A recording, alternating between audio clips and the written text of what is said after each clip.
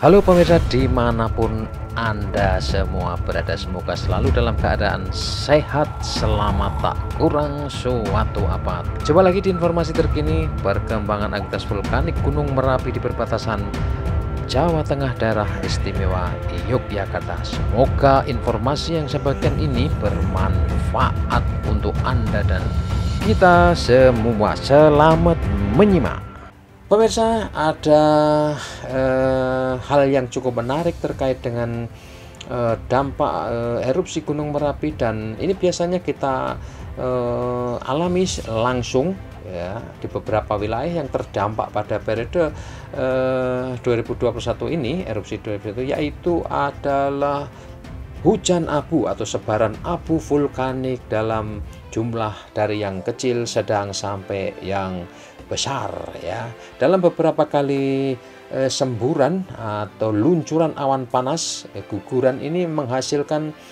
abu vulkanik yang cukup lumayan di sektor barat dan barat laut ya.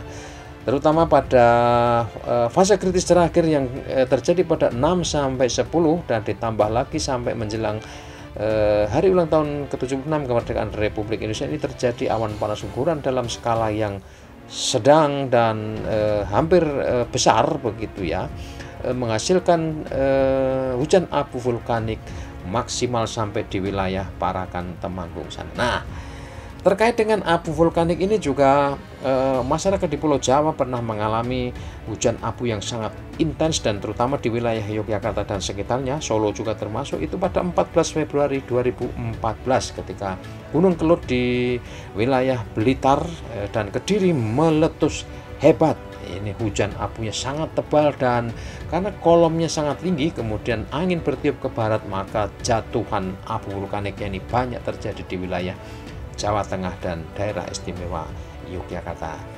Nah, seluk-beluk tentang abu vulkanik ini menarik karena e, masyarakat umum atau kita biasanya hanya melihat e, timbunan atau endapan abu vulkanik yang e, mungkin kita tidak pernah bisa tahu secara persis itu bentuk fisiknya seperti apa.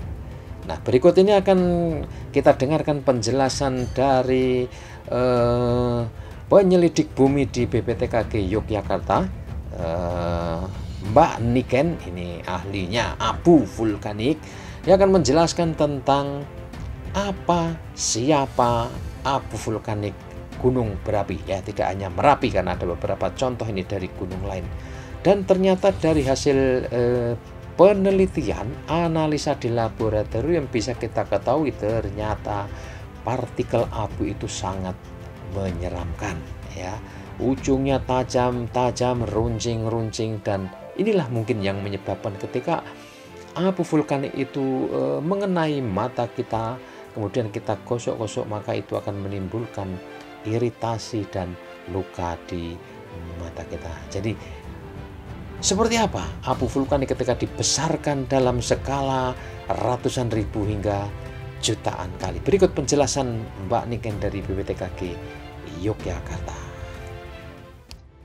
Nah, analisisnya menggunakan apa yang kita sebut dengan mikroskop elektron atau scanning elektron mikroskop gitu. Jadi tujuannya untuk apa sih gitu ya? Tadi kan mikroskop binokler hanya bisa melihat perbesaran hingga 5,6 kali.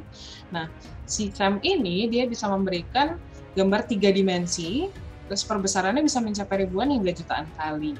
Jadi uh, yang tadinya kayak ah cuman debu kan gitu. Nggak nggak signifikan lah ya gitu. Nggak apa-apa lah nggak pakai masker saat hujan abu gitu. Nah yang ada di depan saudara-saudara adalah uh, ini gitu si si abu tadi ketika kita perbesar hingga uh, ini 900 kali ada yang 600 kali itu dia setajam-tajam ini gitu yang kemarin saya bilang ketika dia masuk ke dalam uh, tubuh Anda, dia akan tinggal di dalam situ. Ini adalah uh, foto dari Sam Abu erupsi Tangkuban Parahu 2019 dan Bromo tahun 2019. Kita bisa lihat bahwa ini adalah uh, mereka punya bentuk yang berbeda gitu. Nah, ini nanti tugasnya para geoscientist di lingkup PVMBG untuk uh, apa sih artinya kalau misalnya si abunya itu seperti ini gitu? Atau kenapa sih kok dia bisa sih ada bolong-bolong tapi dia agak bulat-bulat gini gitu? Eh, kenapa sih kok bisa kayak sedotan gini ya kok bolongnya panjang-panjang nah kemudian uh, selain mendapatkan gambaran morfologi mikro dari partikel abu analisis PEM ini juga digunakan untuk meng, mencari komposisi kimianya tuh apa sih gitu. Nah eh, hasilnya ini hasil dari dari si gambar mikro partikel abu kemudian komposisi kimia ini itu menggambarkan kondisi dan proses yang dialami oleh abu vulkanik gitu. Jadi apa sih ceritanya saat dia mulai terbentuk gitu? Kemudian proses apa sih yang terjadi di dalam tubuh bumi ini gitu? Di dari mulai dia terbentuk terus saat dia bergerak-gerak menuju ke permukaan uh, sampai akhirnya dia muncul di permukaan bumi gitu. Prosesnya apa aja? Nah itu terekam di dalam si satu partikel abu ini. Nah kemudian uh, kalau mungkin ada uh, di beberapa video sebelum ini ada tipe-tipe erupsi. Ada magmatik, magmatik, freatik. Nah, ini hasil SEM ini jika digunakan dengan data pemantauan, misalnya dengan data seismik, dengan data deformasi, dan analisis-analisis abu lainnya, misalnya dengan menggunakan XRF atau menggunakan AS, atau misalnya ada analisis gas, ada analisis air, Nah, itu kalau dikombinasikan akan bisa menentukan tipe erupsinya gitu. Misalnya uh, seperti yang terjadi di di Merapi 2018 dan 2020. Dari bentuknya saja sudah berbeda. Yang 2018 lebih pejal, yang 2020 lebih lebih tajam-tajam gitu misalnya. Nah, itu nanti ketika di di perbandingkan dengan data lain uh, maka akan didapatkan bahwa oh ini tipe erupsinya magmatik, oh ini tipe erupsinya freatik seperti itu. Nah, kesimpulannya, analisis abu vulkanik ini merupakan salah satu metode yang digunakan dalam penentuan erupsi. Data analisis abu vulkanik di masa depan diharapkan dapat digunakan untuk pemantauan erupsi gunung api. Jadi saat ini masih belum bisa gitu. Jadi uh, yang dilakukan saat ini adalah hanya sebagai support gitu, mensupport atau mendukung tapi harapannya di ke depannya nanti akan bisa juga digunakan untuk pemantauan saat uh, erupsi gunung api gitu. Jadi akan lebih lebih cepat dan lebih lebih lebih baik. Kemudian seperti yang tadi sudah saya sebutkan juga, kondisi cuaca kan sangat mempengaruhi sebaran hujan abu. Jadi otomatis juga akan mempengaruhi proses pengumpulan abu. Ketika dia hujan, maka si abunya akan langsung uh, hilang dari permukaan jadi susah untuk menyimpan rekaman erupsi.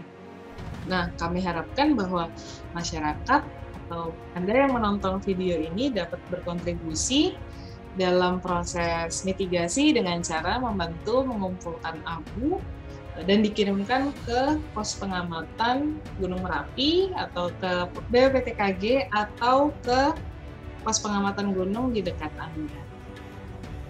Pemirsa, penjelasan tentang hal ihwal abu vulkanik gunung berapi ini semoga memberi pemahaman baru, memberi pengetahuan baru untuk kita semua. Jadi kita ternyata bisa mengetahui tipe erupsi, prosesnya bagaimana letusan itu terjadi berdasarkan satu di antaranya adalah analisa abu vulkanik yang mungkin berjatuhan di sekitar rumah kita. Demikian informasi yang bisa disampaikan, bisa dibagikan dan semoga sekali lagi ini bermanfaat untuk Anda dan kita semua. Salam tangguh. Dadah, dadah. Sampai jumpa di edisi berikutnya. Jangan lupa like, komen, dan subscribe.